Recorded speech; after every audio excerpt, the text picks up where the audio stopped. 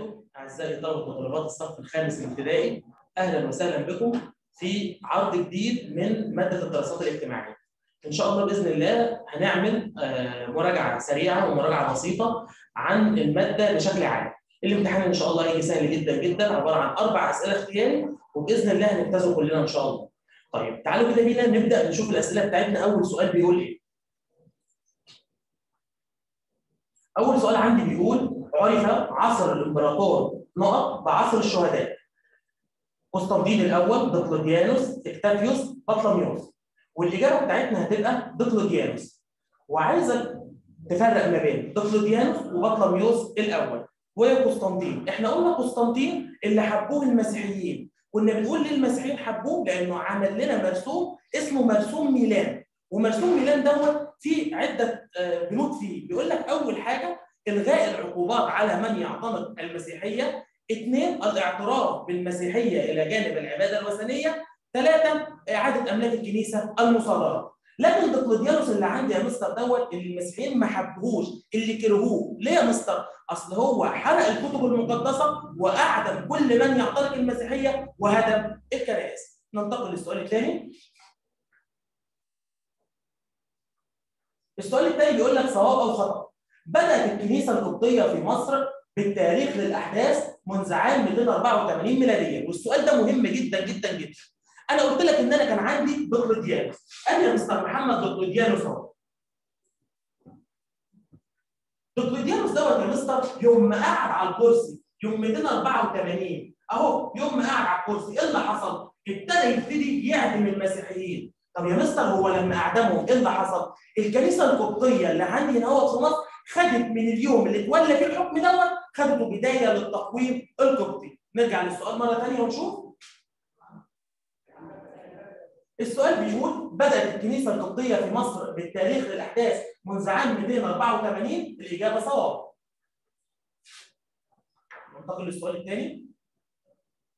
ولد السيد المسيح خلال عهد الإمبراطور الروماني نيرو.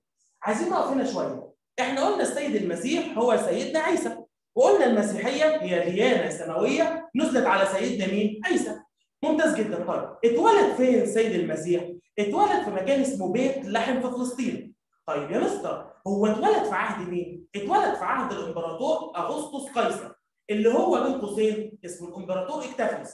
طيب العائلة المقدسة اتعرضت لاضطهاد في زمن مين؟ في زمن هيرودوس. طب لما تعرضت العائلة المقدسة للاضطهاد إيه اللي حصل؟ هجرت العائلة المقدسة من فلسطين إلى مصر. طيب بعد موت عادت العائلة المقدسة مرة أخرى إلى فلسطين وقعدوا في قرية اسمها قرية النصر. نرجع للسؤال مرة ثانية ونشوف السؤال بيقول لك ولد السيد المسيح خلال عهد المسيح خلال خلال عهد الامبراطور الروماني نيرون والإجابة هتبقى خطأ. السؤال الثاني اختر الإجابة الصحيحة. أشهر ثورات المصريين ضد الرومان ثورة نقط بالدلتا. إحنا قلنا إن الرومان كانوا بيكرهوا المصريين وحرموهم من الاشتراك في حكم مصر وفرضوا عليهم مزيد من الضرائب وكانت دي من الأسباب إن المصريين عملوا ثورات ضد مين؟ ضد الرومان ومن أشهر الثورات عندي هي ثورة الرعاة في الدلتا. أنتقل للسؤال الثاني. احترم الإمبراطور مين عقائد المصريين وقدم القرابين للآلهة. إحنا قلنا معنى كلمة القرابين دي اللي هي الهدايا. والامبراطور اللي قدم القرابين للآلهة هو الامبراطور اكتافيوس. طيب اكتافيوس ده يا مستر محمد قدم القرابين للآلهة وعمل حاجة ثانية قلت لك آه ده اهتم بالزراعة، طب اهتم بالزراعة إزاي يا مستر؟ إن هو طهر الترع وحفر القناه وحفر وأقام الجسور وحفر الترع مرة. السؤال الآخر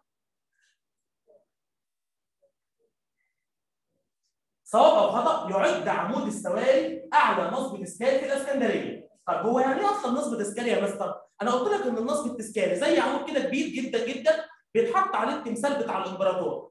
طيب إيه اللي انت بتقوله ده يا مستر؟ أنا عندي في الكتاب ان عمود السواري ده اعلى نصب تذكاري في العالم. طب ما هو طالما اعلى نصب تذكاري في العالم أكيد هيبقى اعلى نصب تذكاري في الاسكندرية. تبقى الإجابة بتاعتي صواب.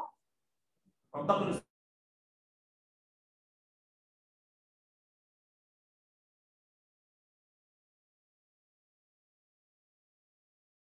استاذنكم بس ما حدش يعلم على إجابة من عنده علشان ما شتتش بقية زمايلك وإحنا بنشرح. طيب نشوف السؤال بتاعي بيقول لي من أشهر المعابد البطلمية في مصر معبد نقط أنا هنا هو بقول لك معابد البطالمة. وحددت بالظبط البطالمة. وكنا بنقول إن المعابد بتاع البطالمة وغنيناها مع بعض سوا كنا بنقول إدفو فيلا ديرين مدينة ودندره يبقى ديت المعابد اللي عندي الأربعة اللي موجودة تاني نقولهم إدفو فيلا ديرين مدينة ودندره خد بالك أنا بقول لك المعابد في مصر مش في النوبة. النوبة عندي معبد كلبشة معبد وادي السبوع و معبد كلبشة ومعبد وادي السبوع. طيب تعال نشوف الإجابة بتاعتنا تبقى معبد دندره ننتقل للسؤال اللي بعده. اختر الإجابة الصحيحة مما بين الأقواس أنشئ مجمع البحوث العلمية والأدبية في عهد بطلميوس. طيب بطلميوس الأول. الإجابة بتاعتي هتبقى بطلميوس الأول. بس عايز أقف هنا شوية.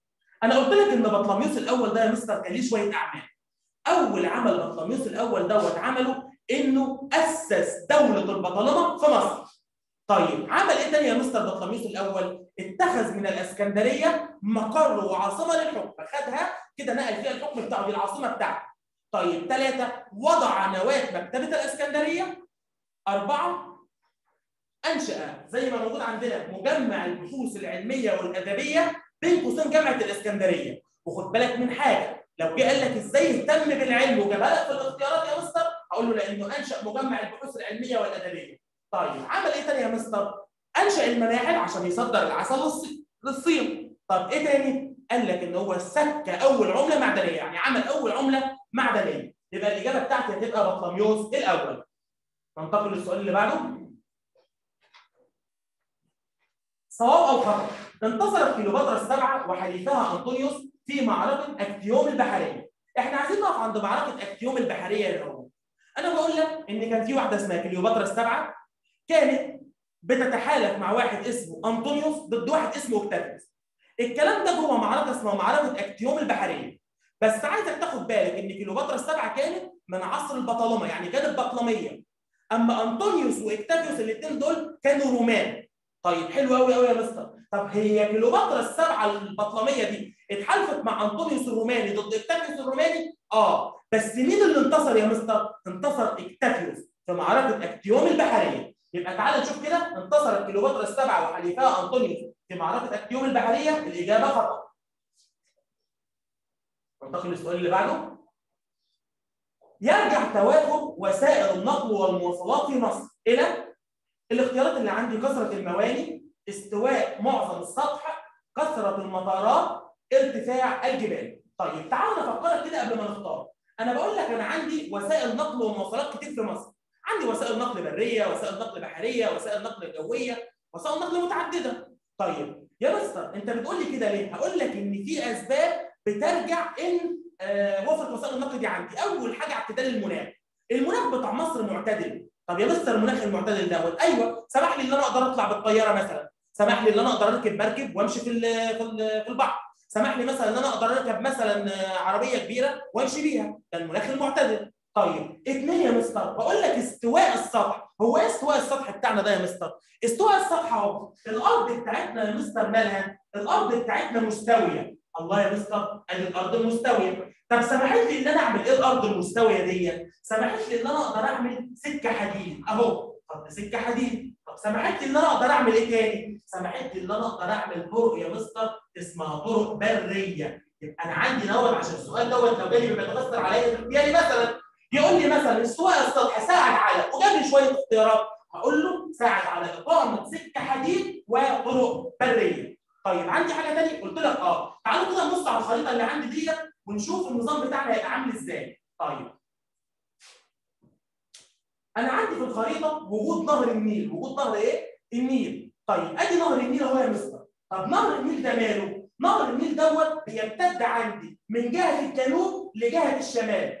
طيب إيه من جهة الجنوب لجهة الشمال ديت؟ يعني معنى كده يا مستر مساعد على ربط الوادي بالدلتا، ربط يا مستر الوادي الطويل دوت بالدلتا، الطرق طرق شغالة، طرق برية، طرق بحرية شغالة فيه. طيب تعالى نرجع للأسئلة بتاعتنا تاني بقى نختار الاختيار بتاعنا. بيقول لي يرجع توافر وسائل النقل في مصر إلى استواء معظم سطح مصر. ننتقل للسؤال اللي بعده. صواب أو خطأ؟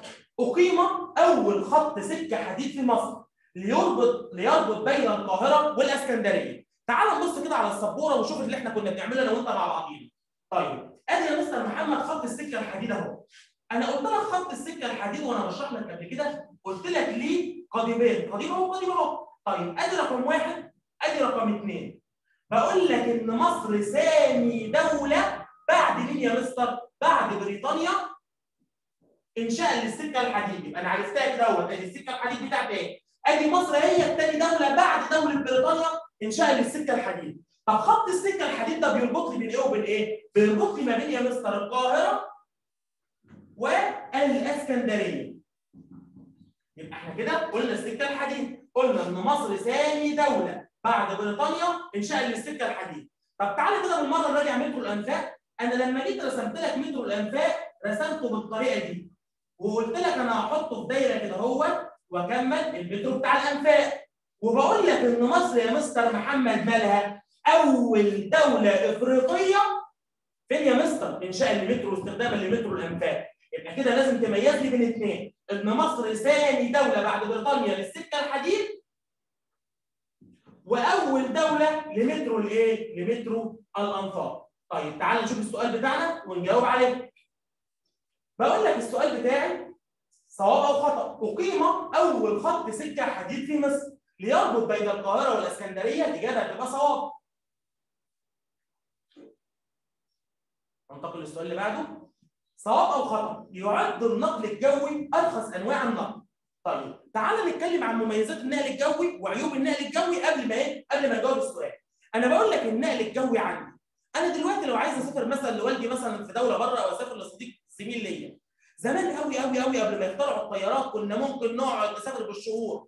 لكن يا مستر الطيارات عندي عملت إيه يا مستر؟ الطيارات عندي خلت الوقت عندي يجري بسرعة. بقى الطيارات عندي خلت الوقت يبقى سريع. يبقى النقل الجوي يا مستر هو هو أسرع أنواع النقل. طيب اثنين التكاليف بتاعته عالية جدا جدا جدا من العيوب بتاعته يبقى السؤال بتاعي بيقول لي يعد النقل الجوي أرخص أنواع النقل هي بالإجابة خطأ طيب تعد القاهرة ودمياط من أهم مراكز صناعة نقط في مصر طيب أنا قلت لك إن أنا عندي مراكز للصناعات زي القاهرة ودمياط أنت بتسمع كده مثلا يقول لك أصل ده محمد ابن خالتي هيتجوز طب هو جاب العفش بتاعه منين؟ جاب الأساس بتاعه منين؟ يا مستر جابها من دمياط آه يبقى أنا عندي دمياط والقاهرة دول يا مستر أكتر المناطق استخداما لايه واللي إحنا بنجيب منها إيه؟ الأساس الأساس. ننتقل للسؤال الآخر.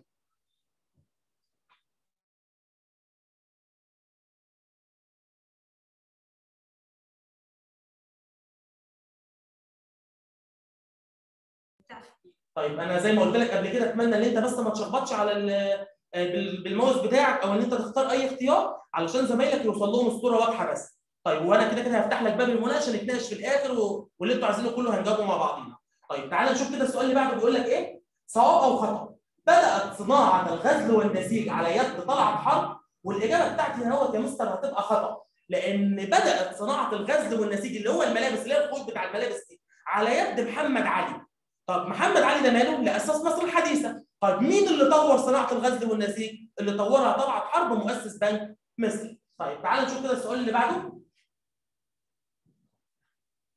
السؤال بيقول صواب أو خطأ صناعة الحديد والصلب من الصناعات الاستخراجية يا مستر أنا عندي الصناعة اللي هي عبارة عن تحويل المادة الخام إلى منتجات وقلت لي ليها نوعين صناعة تحويلية وصناعة استخراجية قلت لك استخراجية بكل بساطة أنا بحفر في الأرض وبطلع المعادن ومصادر الطاقة. خرجتها يبقى استخراجية. طب التحويلية. أنا جبت حتة الحديد حولتها العربية. جبت القطن مثلا حولته اللبس.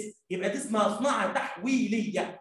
طب صناعة الحديد والصلب دي يا مستر بقول لك حديد وصلب مش حديد بشكله الأساسي. ده أنا بضيف للحديد حاجات عشان يبقى حديد وصلب. طيب يبقى معنى كده إن أنا يا مستر حولته يبقى ان هو صناعة الحديد والصلب من الصناعات الاستخراجية طبعا الإجابة هتبقى خطأ من الصناعات التحويلية ننتقل للسؤال اللي بعده اختر الإجابة الصحيحة يهدف مشروع نقط إلى استصلاح واحد ونص مليون فدان بالصحراء الغربية. تعال بص كده معايا على السبوره ونشوف اللعبة اللي إحنا كنا بنلعبها سوا مع بعضينا.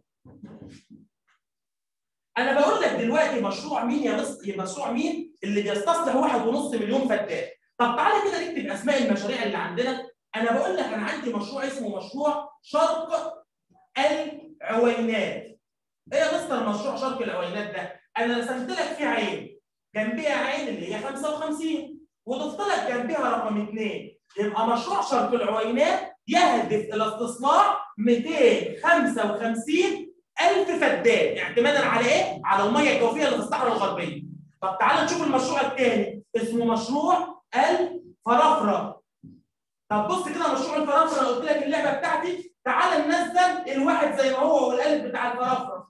طب تعال نحط العلامة اللي هي الر وتعال نحط الدايرة بتاع الف يبقى الفرافرة استصلاح واحد ونص مليون فدان وهي دي الإجابة اللي عندي. أنا بقول لك تعالى كده نرجع للسؤال مره ثانية بيقول لك إيه السؤال؟ السؤال بيقول يهدف مشروع إيه إلى استصلاح واحد ونص مليون فدان بالصحراء الغربية، إيه اللي واحد ونص مليون فدان؟ هو مشروع الفرافرة. ننتقل للسؤال اللي بعده. تعد نقط مصدر أساسية للغذاء البروتيني في مصر. والسؤال ده أنا فاكر جدا جدا جدا لما جبناه في المذكرة بتاع المدرسة ناس كتير قوي يا مستر ما كانتش عارفة الإجابة بتاعته. هو إيه اللي في الحاجات دي كلها اللي بيديني بروتين يا مستر؟ الحاجة الوحيدة هتلاقيها هي الاسماك الذرة والفاكهة هي كده كده محاصيل محاصيل زراعية. طب إيه اللي بيدي الوحيد؟ الاسماك وقلت لك إن مصر يا مستر خد بالك إن مصر مش متطورة في إنتاج الاسماك ليه؟ لأن إحنا لسه لحد النهارده بنستخدم أساليب بدائية في الصيد. ننتقل للسؤال اللي بعده. صواب أو خطأ؟ يأتي كل من البرتقال والبطاطس في المركز الأول والثاني من الصادرات السلعية. طبعا الإجابة هتبقى صواب. وأنا قلت لك إن الحاجات اللي إحنا بنصدرها بالترتيب لازم يتحفظوا بالترتيب. هم أربع حاجات برتقال بطاطس قطن أرز. لازم يتحفظوا بالترتيب لأن بيتسأل فيهم كتير. ننتقل للسؤال اللي بعده؟ اختر الإجابة الصحيحة.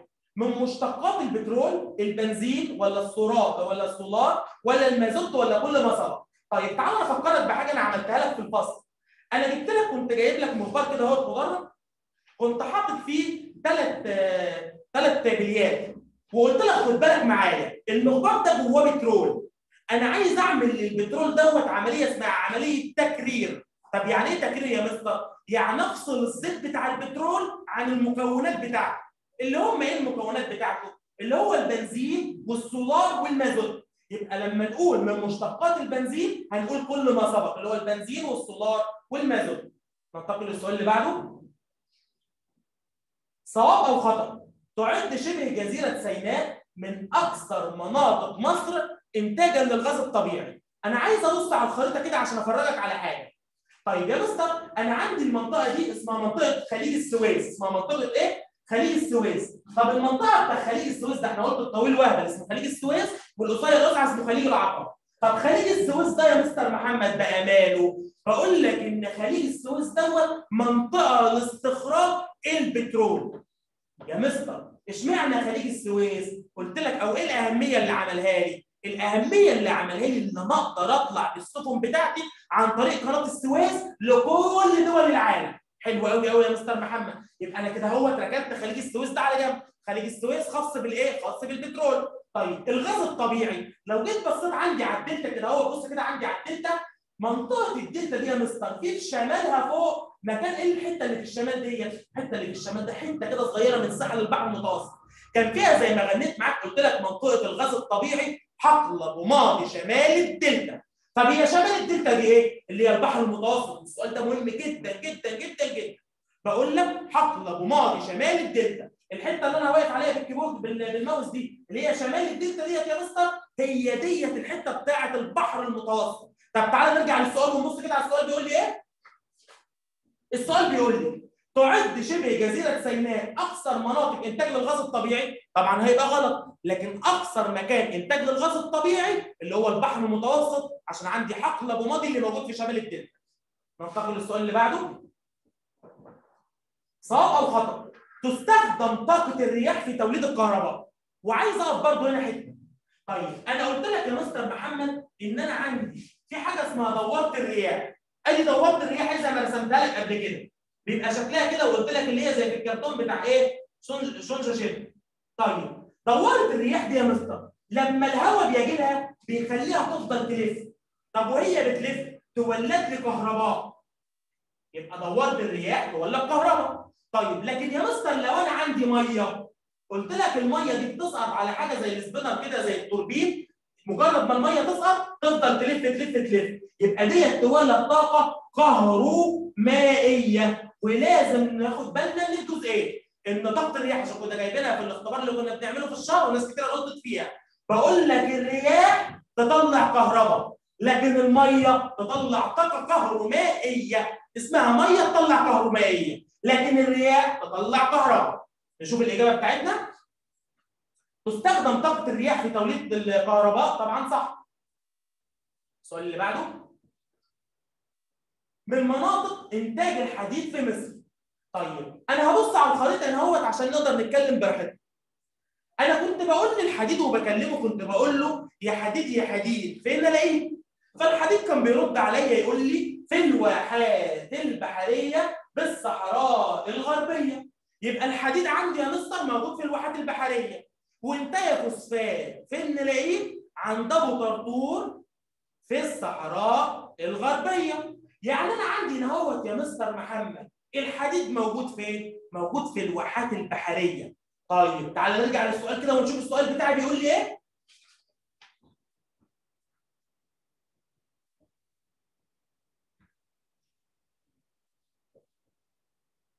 طيب السؤال من مناطق إنتاج الحديد في مصر هي الواحات البحرية. ننتقل للسؤال الآخر. يعد مصنع مين للحديد والصلب أو يعتمد مصنع مين للحديد والصلب على الحديد المستخرج من الواحات البحرية. أنا قلت لك في المنهج أنا عندي مصنعين. مصنع الحديد والصلب وده موجود في حلوان. طب بنجيب الحديد بتاعه منين؟ من الواحات البحرية.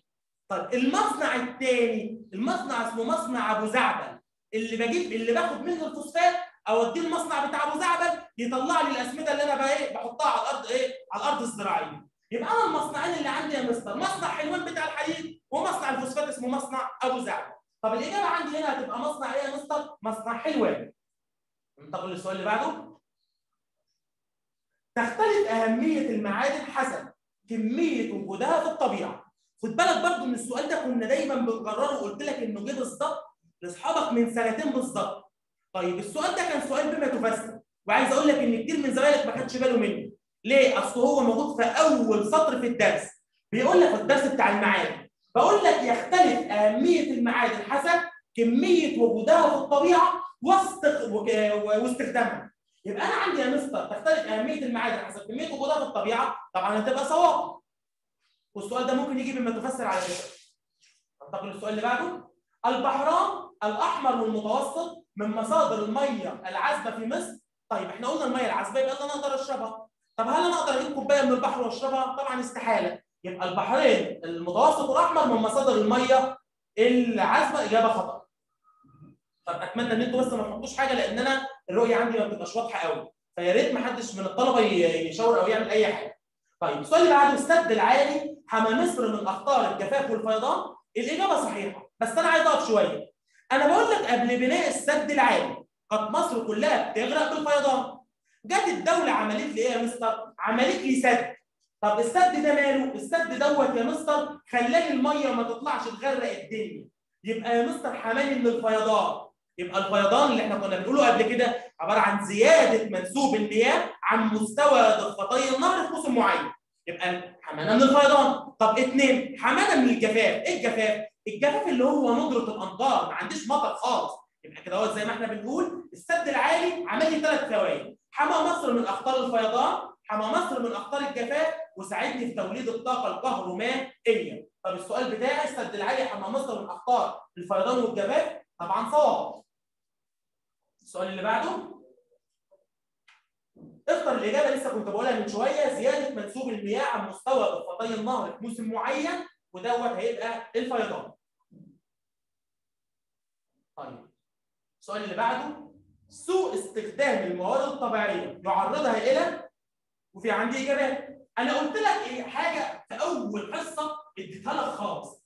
قلت لك يا مستر أول لما تلاقي عندي كلمة سوء وأنت مغمض عينك. روح مطلع سهم كده واكتب تلوث يبقى أنا لو جالي سوء اكتب تلوث طب لو جالي كلمة الإسراف؟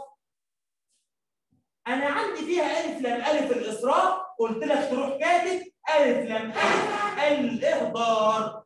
يبقى سوء نكتب تلوث والإسراف نكتب إهدار. ننتقل للسؤال. السؤال بيقول سوء استخدام الموارد الطبيعية في مصر يعرضها إلى التلوث.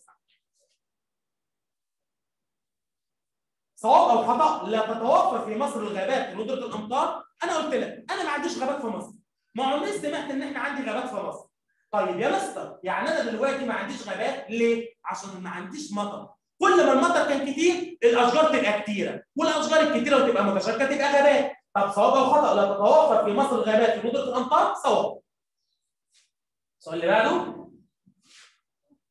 تعتمد الزراعة في وادي النيل على المياه الجوفية. وهنا أنا هرجع للخريطة. تعال بص كده معايا على الخريطة.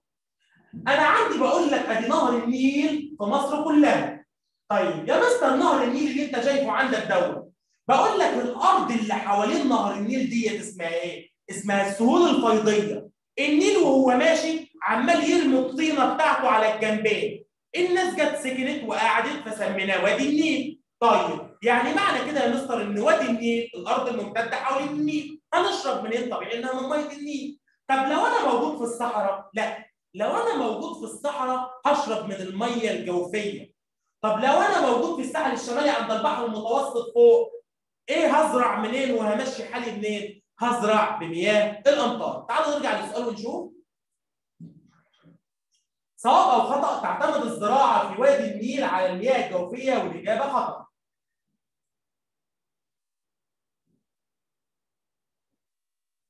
وبكده أكون أنا انتهيت من الأسئلة اللي عندي وأنا منتظر أي سؤال منكم اللي عايز يسألني أي سؤال يتفضل. محمد. أيوه يا مستر. إزيك يا مستر؟ اتفضل. مستر. مين معايا الأول؟ أنا يوسف محمد. يوسف محمد. يلا يا يوسف معاك. ها. مستر هو هو الامتحان هيجي كام سؤال وهيجي على كام درجة؟ إحنا قلنا يوسف الامتحان هيبقى عبارة عن أربع أسئلة اختياري ماشي. أربع أسئلة اختياري بس؟ إن شاء الله يا حبيبي. كام درجة؟ آه لا حقيقي مش مش متذكر بالظبط كام درجة. بس آه، غالبا 40 درجة. ماشي. حد عنده سؤال تاني يا ولاد؟ أنا يا مستر. اتفضل. مين معايا الأول؟ آدم. آدم اتفضل يا آدم. أنا ما فهمتش آخر واحدة. اللي هي بتاع نهر النيل صح كده؟ آه. طيب تعالى نرجع للخريطة وأنا أقول لك تاني. طيب. طيب السؤال بتاعي كان بيقول لك بتعتمد الزراعة في وادي النيل اعتمادا على إيه؟ أنا بقول لك بص كده أنا بشاور لك على نهر النيل أهو. نهر النيل ده عبارة عن مية. طيب الأرض اللي حوالين بقى نهر النيل هي باللون الأخضر ده ال green دوت. الأرض اللي حواليه ديت اللي هي الحته الرفيعه ديت اللي حواليه دي اسمها وادي النيل. اللي أنا بسكن عنده طب أنا جنب النيل. طبيعي إن أنا هشرب من ميه النيل. طيب لو أنا في الصحراء موجود في الصحراء زي مثلا لو عندي لو أنا في الواحات البحرية أو منخفض القطارة أو واحد سيوة أو أو أي حاجة من الصحراء الغربية. طبيعي إن أنا هحفر في بطن الأرض ابر عيون. يعني هفضل أحفر أحفر أحفر لحد ما أطلع مية. طب المية اللي أنا بحفرها أنا قلت لك بطلعها من جوف الأرض من بطن الأرض. يبقى ديت يا مستر اسمها مياه جوفية. طب لو أنا موجود يا مستر محمد فوق عند البحر المتوسط لو أنا موجود عند البحر المتوسط هيبقى من إيه؟ من مياه الامطار طيب في حد عنده أي سؤال؟ خد بالك مياه الامطار زراعة. في حد عنده أي سؤال؟ مستر. اتفضل مين مستر. أحمد محمد شعيب. اتفضل يا أحمد معاك. هو السد العالي بيدينا طاقة كهرومائية يدينا طاقة كهرومائيه آه ماشي. لأنه سد عالي ميه لكن لو رياح يبقى كهرباء. حد عنده سؤال تاني؟ ماشي. مستر مستر. اتفضل رؤى صح كده؟ آه شفت يا رؤى أنا عارفك إزاي اتفضلي. هو اللي هي اللي بتدينا كهرباء اللي هي الرياح. مش دي؟ بتلوث؟ اللي هي اللي هي مش دي؟ بتلوث؟ لا ما بتلوث ما إحنا قلنا دي طاقة نظيفة. الطاقه النظيفه اللي هي الشمس والرياح والمية دي طاقة نظيفة لا تلوث. تمام كده ماشي. وطبعا طب وإيه اللي بيلوث؟ أنا بقول لك بس ثانية واحدة. أنا بقول لك الرياح من منطقة الزعفران. طب اللي بيلوث عندي؟ الفحم والبترول والغاز الطبيعي. الفحم عند احتراقه ينتج غاز ثاني أكسيد الكربون الذي يلوث البيئة. طيب البترول البترول عندي ليه مشتقات؟ المشتقات دي هي اللي بتلوث البيئة وهكذا الغاز الطبيعي لو احترق طيب يعني حد عنده سؤال تاني؟ ها؟ إيش في أسئلة تاني؟